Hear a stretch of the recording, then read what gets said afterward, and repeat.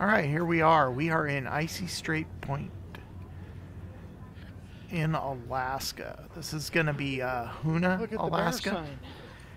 Uh, this is a location uh, you see in a lot of the brochures and uh, advertising for cruises. And I got to tell you, this was incredible. I love the history here. Uh, this interpretive center was awesome. It was kind of like the gateway to all the adventure that's available. So we'll just follow along here. Uh, off to the left, there's trails off into the woods. And um, I, for some reason, I didn't get entering the building, but I did get the inside of the building when I was leaving back to go back to the ship. So here we are, just outside the uh, interpretive center, and this is where you have. Uh, there's a smokehouse, there's a bar, and then over off to the left there was uh, there's a totem pole, another totem, the Duck Point Bar, and restrooms. I don't know why I managed to record all the restrooms on this particular video, but I did. So there I am. I'm heading to my group. We're getting ready to head over to the old cannery. Now, for me, the old cannery is what I really wanted to see on this trip. It was just, just awesome to see it, and I can't wait to share it with you. But for right now, let's just take a look at the scenery. They got this really cool statue of the orca whale there, and uh, the benches tend to fill up awfully fast. But once you get to the cannery, there's lots of places you can sit down. The scenery here is absolutely magnificent.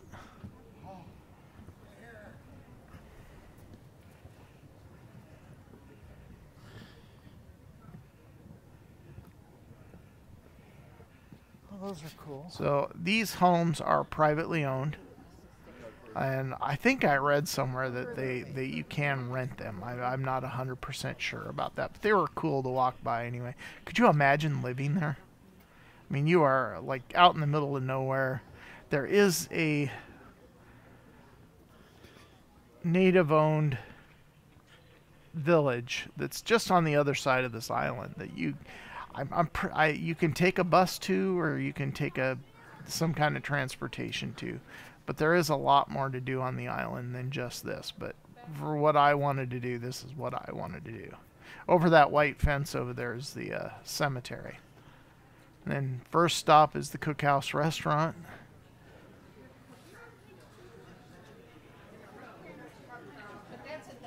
Now I kind of went on the cheap end of things for this trip. I uh, decided that I wanted to uh, not spend a lot of extra money when I was in in the different ports. So uh, for me, this was just kind of a visual experience, and I wanted to check out this building.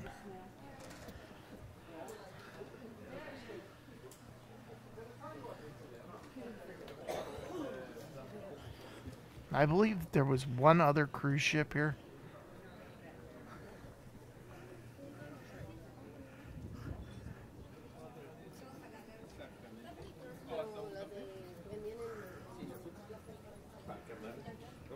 So once you get inside the buildings, you're gonna notice it's all gift shop. There's there's there are some things. The experience for me was to see the like the ceilings and the doors and all the old stuff, and I'll, I will show that here to you. And this is this was kind of my favorite part right here. This makes for a great picture.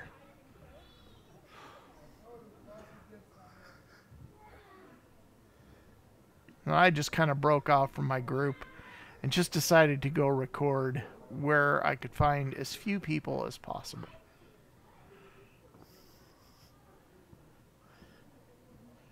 And this, this I guess, would be your museum aspect of this adventure. Benches would be fucking nice. And then inside the buildings, it's all gift shops and whatnot. But like I said, there's a lot of places to sit um, if you need to sit down and take a break. Yeah, see, here's what I mean. But look at the ceilings. I mean, you can just see the history in this place. I mean, this this place operated back in the 30s, so it is now just a museum and uh, basically a a, um, a gift shop, one big giant gift shop. And the old boat.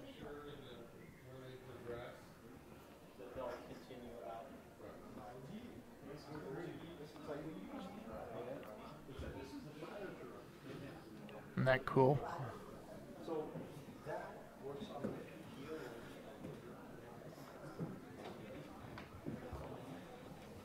And I spy with my little eye a bench that I'm going to go sit on. Because I'll tell you what, Juneau totally wore me out on this trip. Juneau was day one. This was, or uh, Juneau was not day one. We had day Juneau was day three. This was day four after uh, Glacier Bay.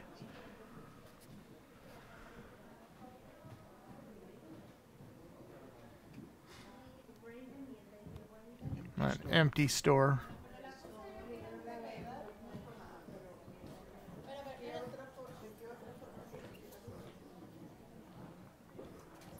I mean, look at the big doors. They still got the old latches on them. Lots of jewelry stores.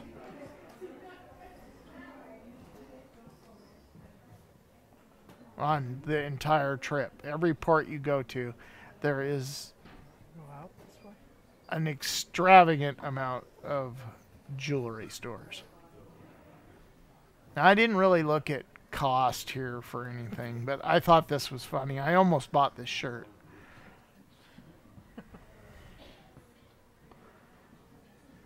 Now, check out this door. Look at the old hinges on it. Isn't that cool? So this was kind of the museum part. It showed you how they used to do the canning. So this was kind of neat.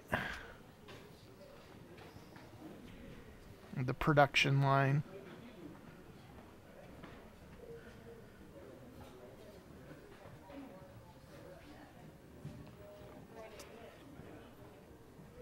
Ah, there's a familiar face.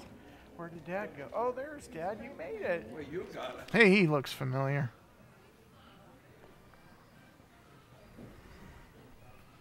Uh, the ceiling. reminds And I made mention. warehouses in Yakima.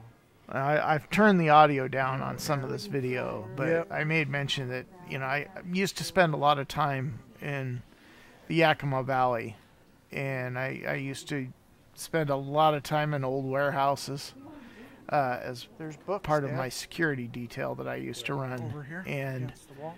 this reminded me a lot of some of those old warehouses.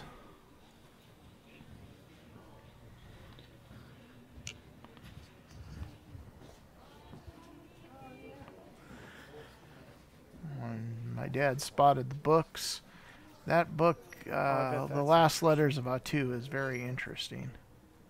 All right, so here we are outside. Uh, there's the little uh, mini donuts. I did not try those. I just kind of sat here for a minute and just watched people.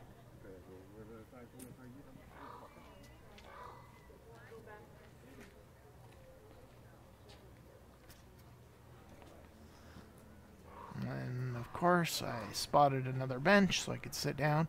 We're going to look at some more, uh, some of the equipment that they used to use. I could not tell you what any of that is.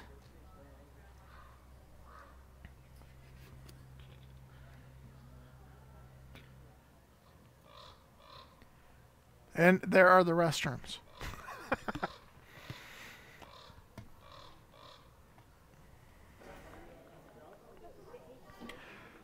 and so we're looking in. This would have been just before that uh, production line there that we looked at earlier. The crab house is up here off to the left.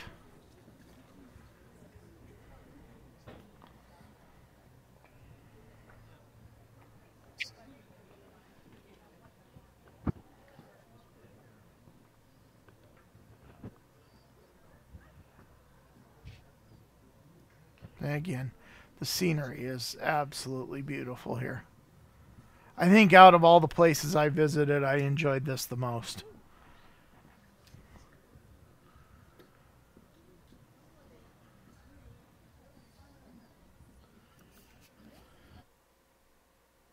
There's the crab house.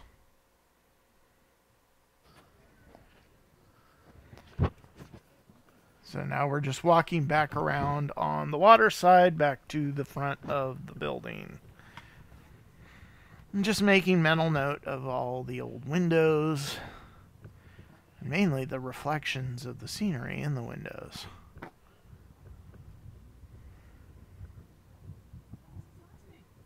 And this would have been this would have been the main building that we would have come in, but we we had actually gone to the right instead. Lots of stuff to look at. And the, the prices were not that bad.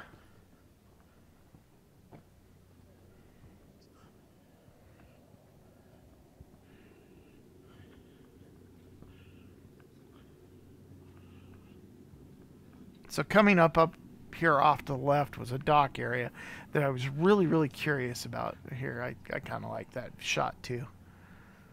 But I uh, got up here, I was really excited because I thought I was going to be able to walk out to the left, and it's Oh, blocked off. there.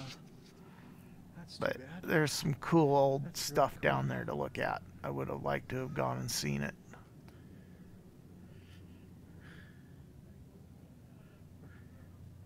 There's a cool picture right there.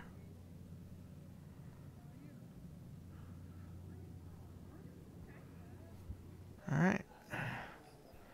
And back through the center of the two buildings.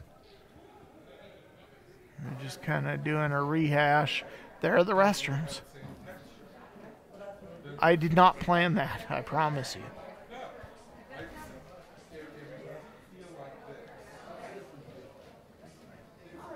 I think most everybody that was here was from the Eurodam. And I did re- realize that they do have these available, the little trams, if you don't want to do the walk back. They'll take you back to the ship. I didn't do that, I just went ahead and walked it. So I really pushed myself on this trip. Really pushed myself.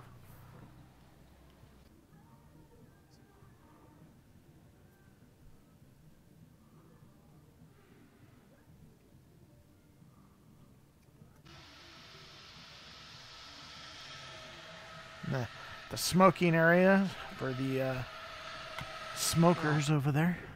Now we're back on our way back to the ship, and this is the uh, cemetery that we walked past on our way down.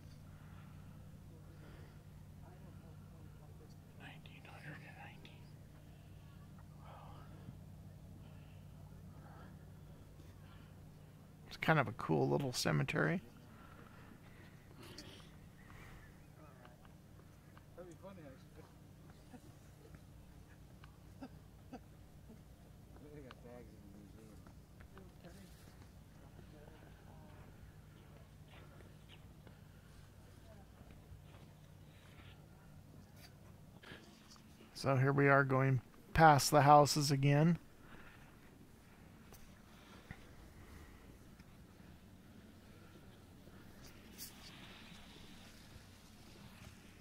Beautiful sunsets and uh, sky colors later on. I, I didn't catch them for the video, but I did take quite a few pictures of this area, and I'll, I'll drop a couple at the end of the video for you to look at.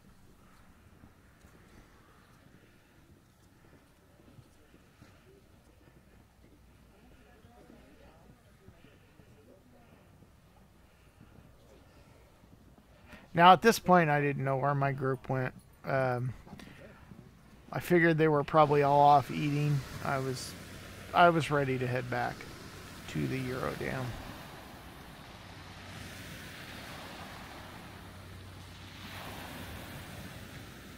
But like I said, the scenery is just breathtaking here. And you, you feel like you're at the end the end of the world, basically. And that little thing, that is the, uh, the little, uh, you can take that and it'll take you up over the mountain And you can get some pretty cool views with it. We did not do that on this trip. And they also have a zip line that comes down uh, into this facility, or on the other side of this facility.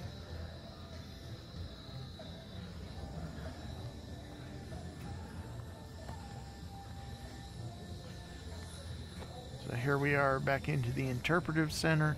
This is going to be short, but this is what it is.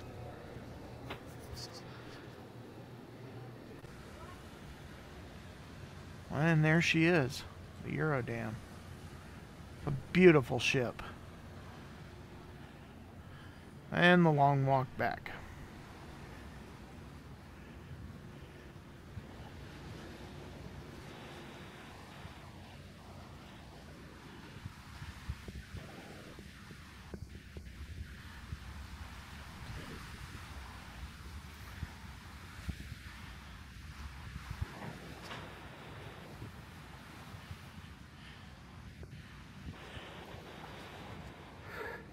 All right, well, I think that's going to bring this video to a close.